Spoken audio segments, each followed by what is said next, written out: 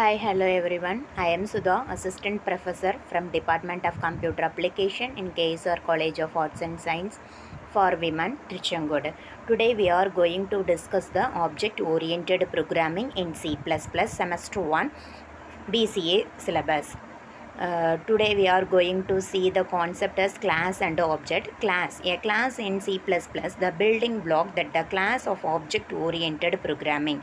It is a predefined data type which holds its own data members and member function which can be accessed and used by creating an instance of that class.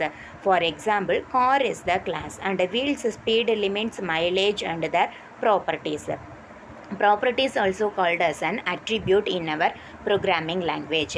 An object is an instance of a class. When a class is defined no memory is allocated but it is instantiated. That is an object is mem- uh, instantiated memory is allocated.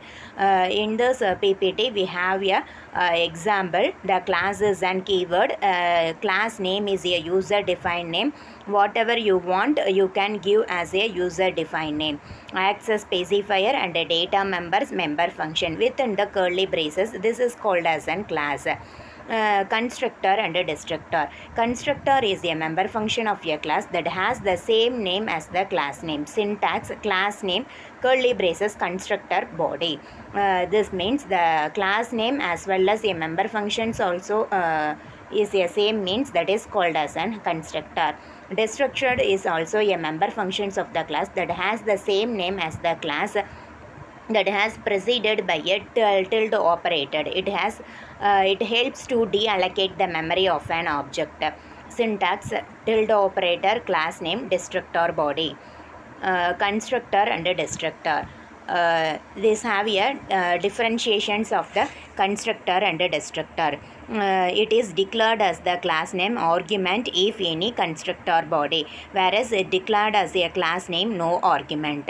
Constructor can either the accept arguments or not. While it can it can't have any argument. Uh, a constructor uh, is called when a instance of object or uh, of a class is uh, created. It is called uh, while object of the class uh, is feeded or deleted freed or deleted. Constructor is used to allocate the memory to an instance or object. Uh, while it is used to deallocate the memory of an object of a class constructor can be overloaded.